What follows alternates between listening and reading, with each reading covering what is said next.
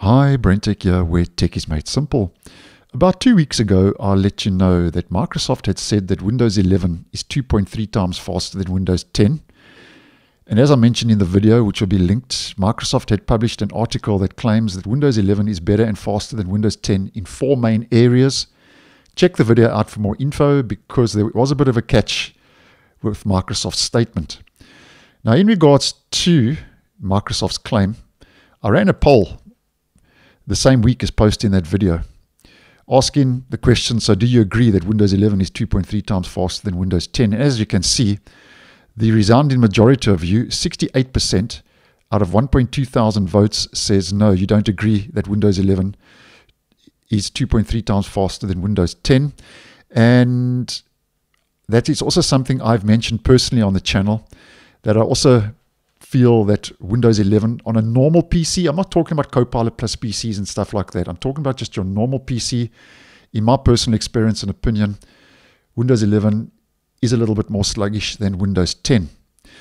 Now, in regards to Windows 11's performance, and why I'm mentioning all of this is because late last week, Microsoft rolled out the latest dev and beta builds, where it's introducing the ability to auto generate system logs when the operating system detect system performance issues. Now, just a, another quick recap the dev channel is where Microsoft is testing this year's annual feature update, version 25H2. And Microsoft has this officially to say. And it says, and I'm quoting, as part of our commitment to improving Windows performance, logs are now collected when your PC has experienced any slow or sluggish performance. Windows insiders are encouraged to provide feedback when experiencing PC issues related to slow or sluggish performance, allowing Feedback Hub to automatically collect these logs, which will help us root cause issues faster. It also mentions that you can use the desktop system sluggishness category when filing feedback to allow Feedback Hub to automatically pick up these logs. Microsoft does say these logs are stored locally and only sent to Microsoft via Feedback Hub when feedback is submitted. So this is only taking place now in the dev and the beta channels.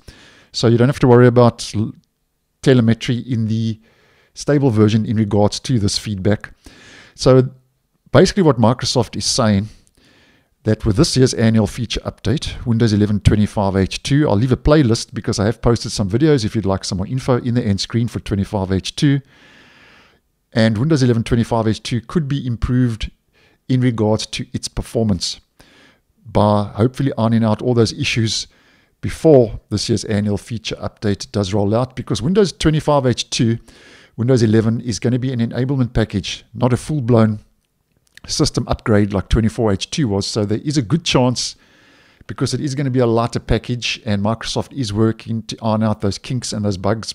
Hopefully, we could see a little bit of an increase in performance and a little bit less sluggishness with 25H2, but I'll keep you posted. So thanks for watching, and I'll see you in the next one.